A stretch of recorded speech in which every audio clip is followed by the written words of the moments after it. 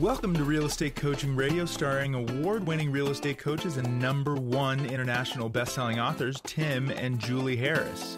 This is the number one daily radio show for realtors looking for a no BS, authentic, real time coaching experience.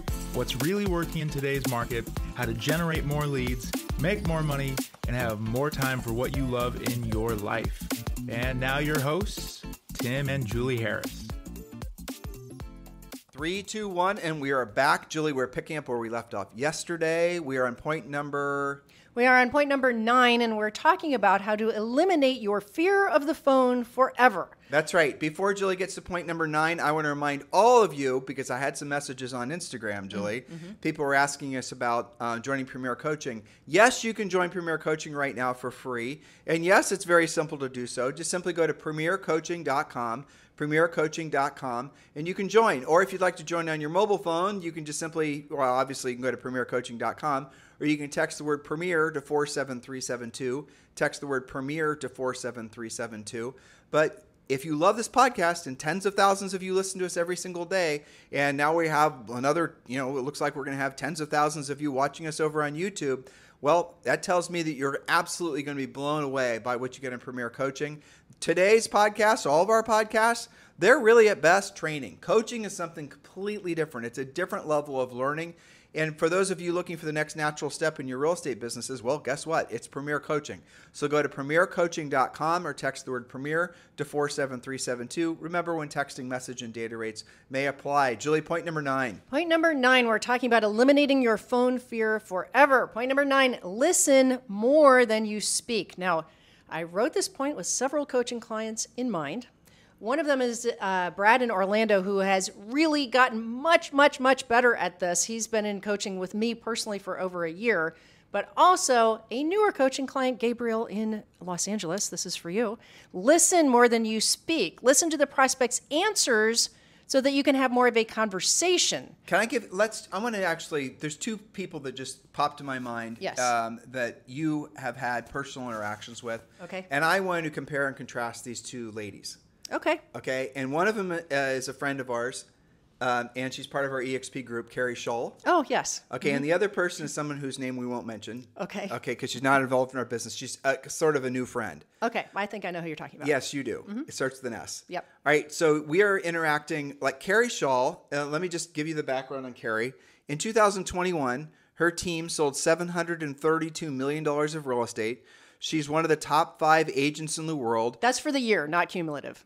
Yeah, that's right. They've sold billions and billions of dollars in real estate. You know, the Carl Sagan way of saying it, billions and billions. billions. Right. Those of you a certain age will appreciate that, you know, stupid joke.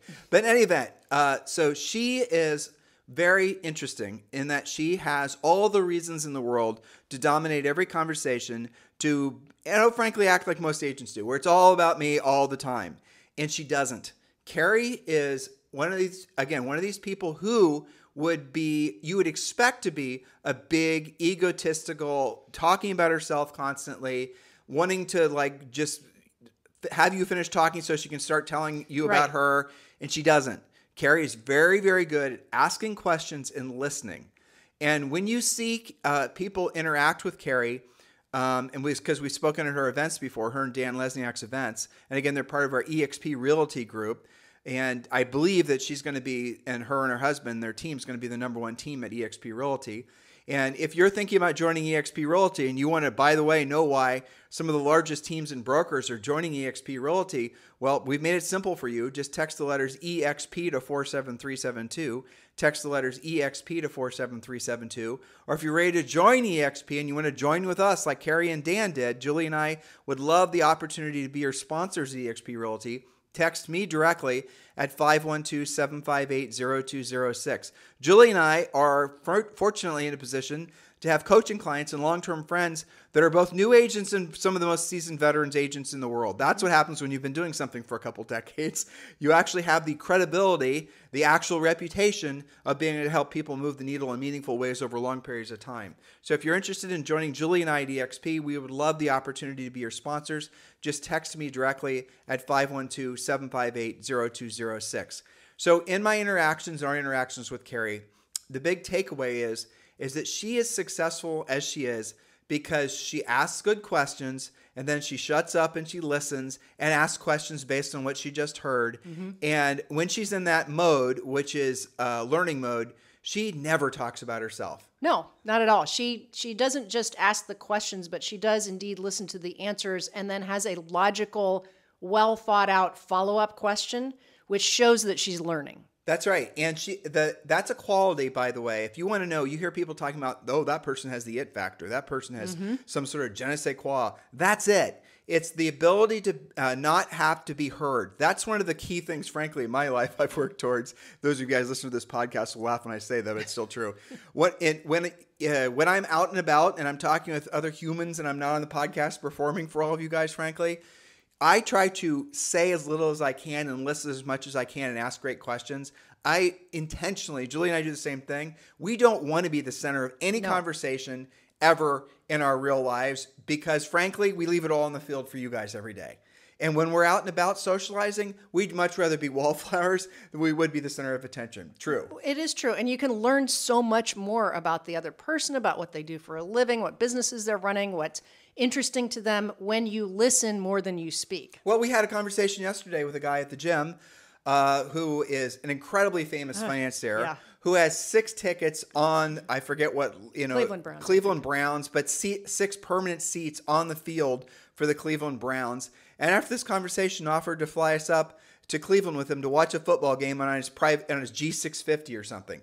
And it's just from the interaction of us being genuinely interested in him and what he does and And he does a lot of very interesting uh, Incredibly research interesting. and development and investing and all these things that are just fascinating, which we wouldn't know a single thing about if we just made it all about us all the time. Exactly. But that's the thing that when you are in a position, and like if you want to know, like think about this. If you want to have people love you, don't talk about yourself like ever, as little as possible. Ask questions about them. Imagine this you walk into a room full of folks. And you're going to want to, you know, talk to certain people, avoid certain people. It's just your natural, you know. What is it about the people you want to avoid?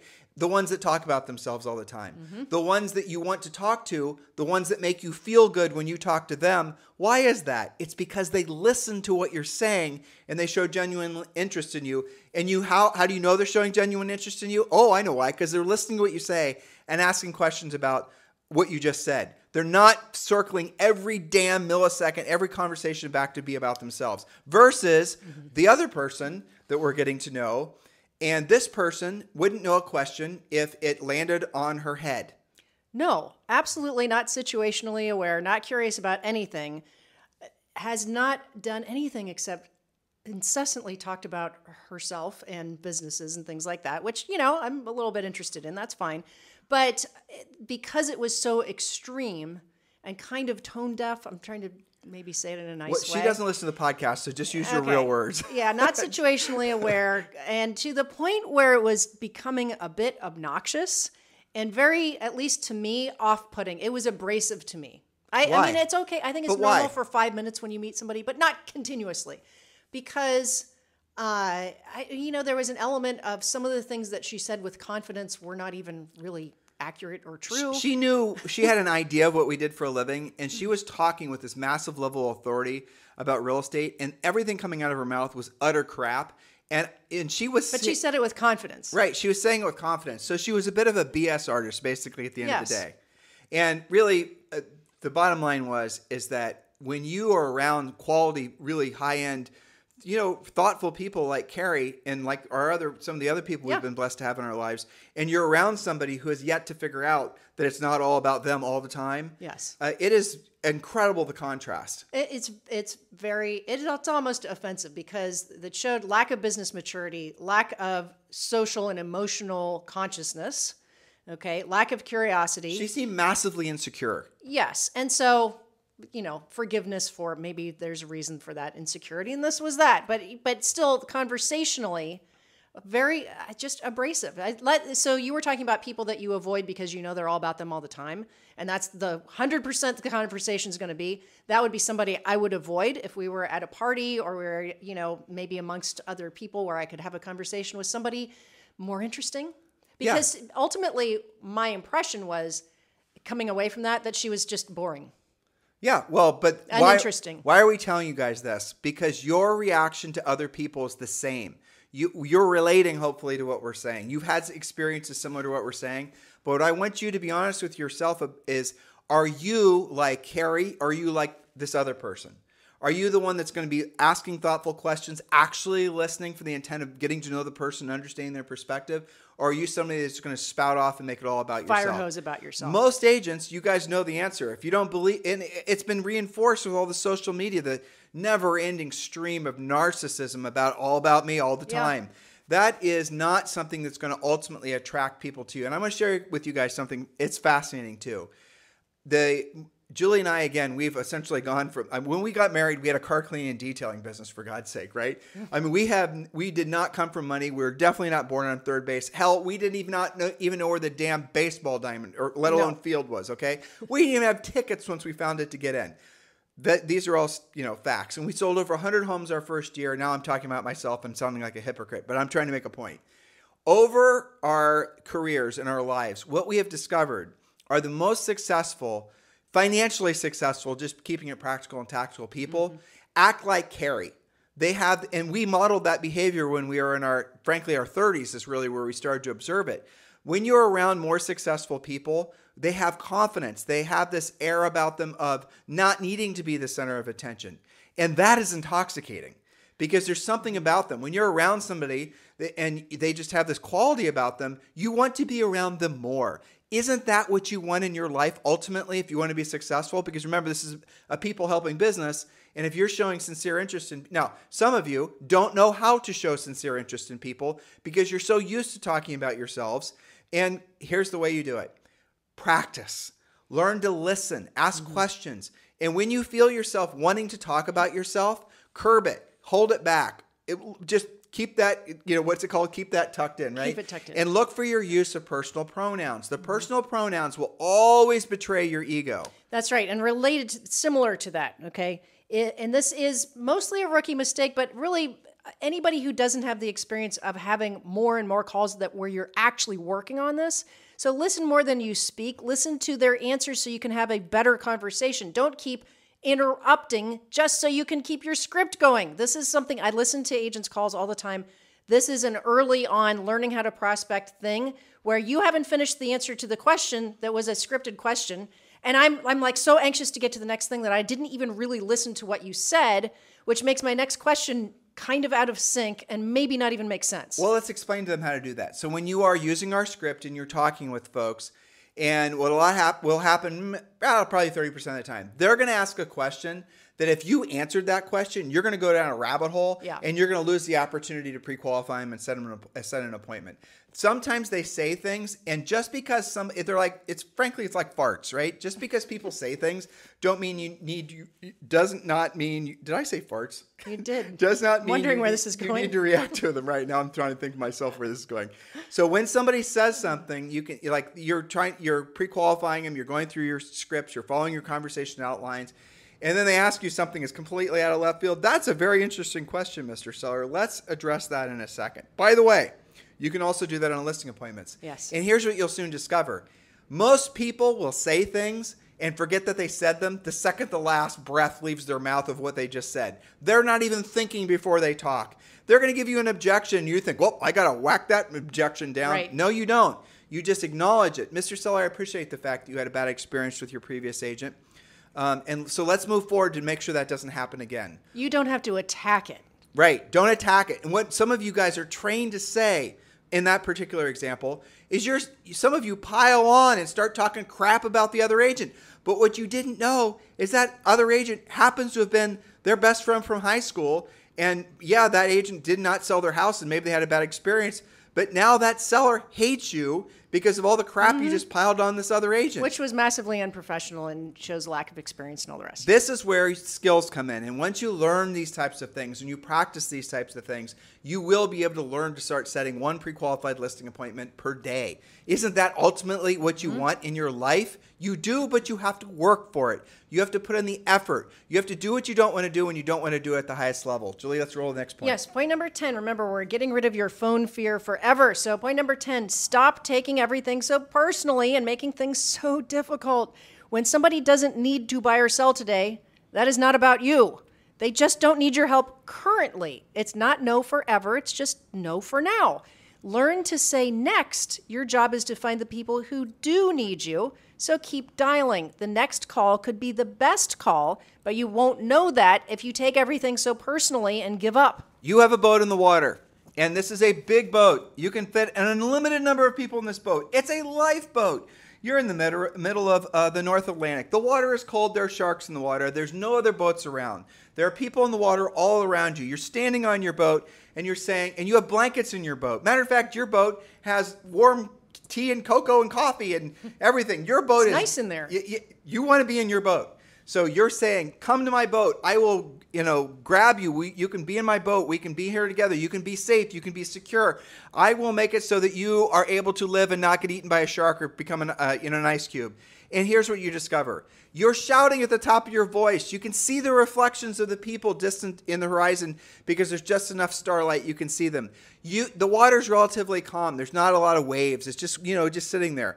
You're shouting, "Come to my boat. I will save you." You can see the people in the distant horizon looking over their shoulder. They see you. They could swim back around. They could get in your boat. But what they do is you can vaguely hear them say, and this is what they're saying, "I'm good. I'm good. I'm going to find my own boat. I'm going to swim to an island. I'm going to befriend a shark and we're going to, he's going to take me to, I don't even know where. going to do it my way. We're going to do it my, okay. Let those people go. You cannot, you cannot save them literally. Then you're going to see other people who are swimming away from you, swimming towards you, but what they're really doing is they're swimming in circles.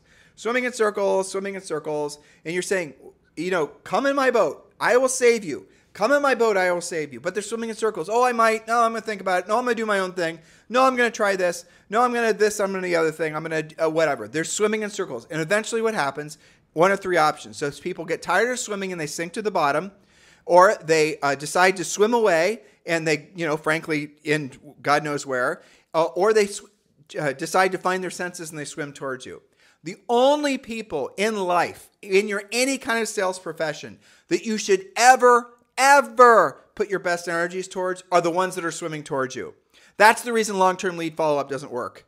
Because those are the people that are swimming away from you. Those are the people that are swimming in circles. So, in order for you to have enough people swimming towards you, you need to generate every day. When you generate, you do not need to tolerate. I am here to save you. I'm in my boat. Swim towards me. And you know what? You look down. You are before you are focusing on the horizon. You are looking way off into the distance of the people that are swimming away from you. Or you're seeing the people swim in circles. But what you didn't realize, there are people all around your boat that had their hands in the air and say, "Yes, pull me up." That's what happens when you guys are focused on the wrong thing. That's when you're focused on, well, so for example, uh, I'm going to build a long-term uh, lead generation funnel marketing plan. I'm going to create a brand around myself. Where, what group of people are you in? When you're, are you the swimming away, swimming in circles? You're probably swimming in circles if that's mm-hmm. your mindset, right? Yep. The people that are joining our coaching program, and frankly, the people that are successful in life in general, are the ones that want to stop screwing around and they just want to take action. If you want to be successful now because of this market, stop screwing around, take action, call the people who already have their hands in the air and say, Yes, I want to sell my house. Do you understand what I'm saying? I know all of you do. There's no way you don't understand what I just mm-hmm. said, but not all of you are ready to hear the lesson. Not all of you are ready to learn from other people's mistakes. You want to go and make your own mistakes. And I honestly, I wish you luck. I hope you don't become shark food. I hope you do find what you're looking for.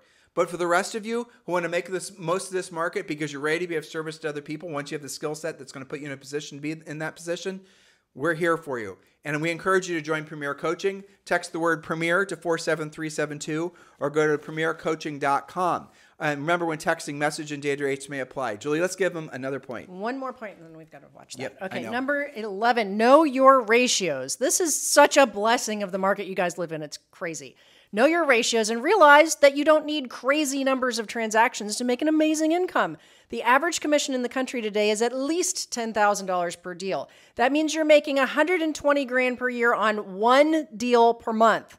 How many contacts, that's a conversation with a decision making adult about real estate, do you take to set one qualified closable listing?